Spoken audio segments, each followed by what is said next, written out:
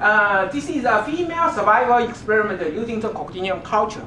Cochlodinium culture was provided by Dr. Tang in Chris lab. Uh, I use this scale to indicate the relationship between the concentrations in my experiment and the cell densities in the field. You can see the red is the bloom density in the field. Okay, let's see the result. X-axis is the time. Y-axis is the copepod survival. Uh, red is the filtered seawater. The green is the rhodomonas. The blue lines are Cochlodinium culture from low concentrations to high concentrations. Okay, so you can see Cochlodinium significantly reduced the copepod survival. At high concentrations, all copepods died within two days. I also measured the copepod survival at different uh, development stages, from the nauplii to the adults. Okay. This is the copepod mortality data at different uh, concentrations. Then I use those data to calculate the 24-hour 50% lethal concentration, which uh, increased with the development stage. So Cochlodinium, uh, so copepod's early life stages are more sensitive to Cochlodinium. Now we know Cochlodinium can kill the copepods. So what's the mode of the, the toxicity? I performed the two, exper uh, two experiments to answer this question. Uh, in the first experiment, copepods are exposed to Cochlodinium live culture, frozen and salt culture, culture filtrate, and filtered seawater. In the second experiment, I put the copyports into the cages, which are covered by 100 micrometer mesh or 5, 5 micrometer mesh. Then I put them into the Cochlodinium culture and filtered seawater. Okay. 100 micrometer mesh could permit the passage of the Cochlodinium cells, but uh, 5 micrometer mesh could not. Okay. First, let's see this treatment. 5 micrometer mesh cage in Cochlodinium culture. So in this treatment, copepods cannot directly contact with Cochlodinium cells. Okay. Now you can see the mortality of this treatment is higher than the control, which suggests that Cochlodinium can release some harmful compounds into the seawater. Okay, now let's see the culture filtrate. In this treatment, Cochlodinium cells are removed. Now you can see the mortality of this treatment is same as the control, which suggests the harmful compounds in the seawater are unstable. So Cochlodinium can release some harmful compounds into the seawater, but those harmful compounds are unstable.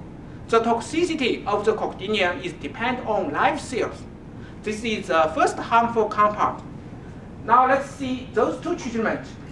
100 micrometer mesh cage and 5 micro uh, 5 micrometer mesh cage. So copepods can feed on Cochlodinium cells in 100 micrometer mesh cage, but not in 5 micrometer mesh cage. Now you can see the mortality of this treatment is higher than this one, which suggests there may be some harmful compounds in Cochlodinium cells. Okay, let's see the frozen and salt culture. The mortality of this treatment is higher than the control, which suggests the freezing and salting treatment can break the Cochlodinium cells and release the inside harmful compounds into the seawater. I think this is the second harmful compound. Although I don't know the structure and the characters of these harmful compounds, my experiment at least showed Cochlodinium can produce multiple harmful compounds, which can kill the copepods. Uh, this is the feeding experiment. Uh, x-axis is the concentration, y-axis is the copepod ingestion rate. The red is Cochlodinium, the green is the rhodomonas. So this experiment showed two things. First, copepods can feed on Cochlodinium cells. You can see this is the ingestion rate. Okay. Second, Cochlodinium significantly, uh, significantly reduced the copepod, uh, copepod feeding. Okay. So this is a harmful effect. And the same result for the egg production and hatching. Now you can see the red is Cochlodinium, the green is rhodomonas. So you can see Cochlodinium significantly reduce the copepod egg production rate and the egg hatching success. Okay. Now we can answer our first question. Is uh, harmful to their grazers? My study showed Cochlodinium can produce multiple harmful compounds which can reduce copepod survival, feeding, and reproduction. So the answer is positive. Cochlodinium is harmful to copepods at high cell densities. Uh, this research was published in MEPS. Okay, now let's go to our second question. Is Cochlodinium always harmful to copepods? I use uh, mixed diet experiments to answer these questions. Mixed diet experiment has been developed to discern whether a given phytoplankton species is uh, beneficial, uh, nutritionally sufficient, or toxic to grazers. Grazers are offered the suspected prey, the control prey, and the mixed prey. For x-axis, here is a 100% suspected prey. Here is 100% control prey. Then we measure grazer response, such as egg production, uh, egg hatching, or feeding. A reference line is drawn connecting the suspect prey and the control prey. If uh, suspect prey is higher than the control, the suspect prey is more beneficial than the control prey. If they are same, the suspect prey is equally beneficial as the control prey, right?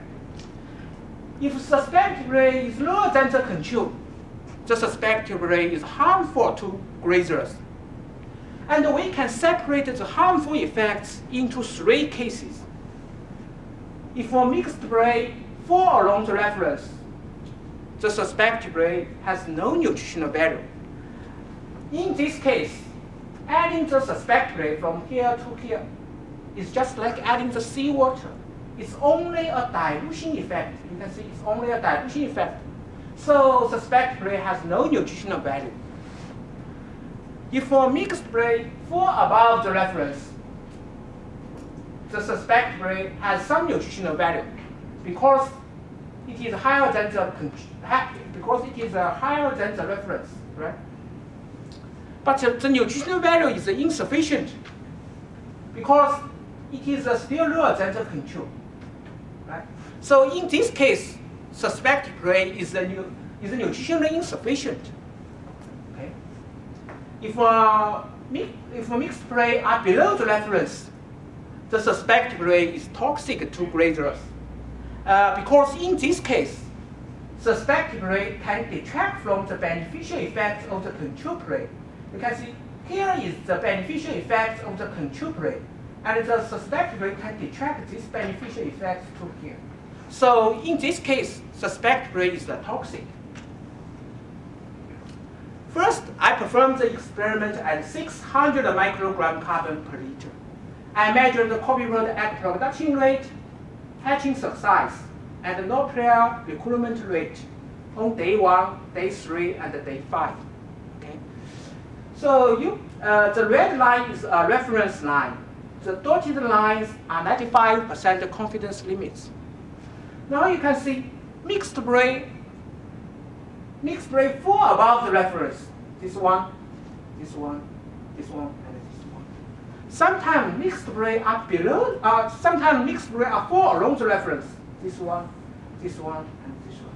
So the Cochlodinium is nutritionally insufficient or has no nutritional value to copepods at these concentrations.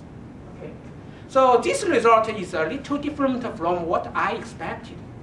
I expected to see toxic because Cochlodinium can kill copepods at high cell densities. Okay, so I increased the concentrations to 1,000 microgram carbon per liter. Now you can see mixed prey are below the reference. So the Cochlodinium is toxic at this concentration. This is what I expected. Then I think, how about reducing the concentration?